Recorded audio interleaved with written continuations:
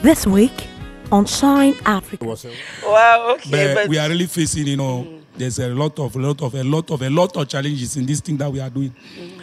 Actually, first, as an Anglophone, man, not talk me, some man fear, me, some man to I talk, but they don't forget to be like the Anglophone comedians.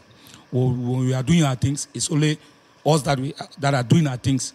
Apart from, say, senior pastor or boy that comic who arrange for us to showcase. Because for the day where you go die, you no go take nothing and go away.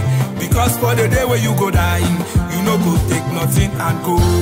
Afterlife, afterlife, afterlife, afterlife. Touch me for here, touch me for there, touch me for here. oh. But I go glad because it. I thank God for coronavirus. Someone go ask me, say, why you go thank God for coronavirus? So our brother, they don't go lost of Europe since. Then they come back. But thanks to coronavirus, they don't come to almost struggle this struggle very hard. Now coronavirus. we wizard. Some man after blow I check time oh, old transact. It show say among we will get wizard. But again, I wish I get man with climb all wall with touch for your hand like a lizard. Shine Africa, moving forward.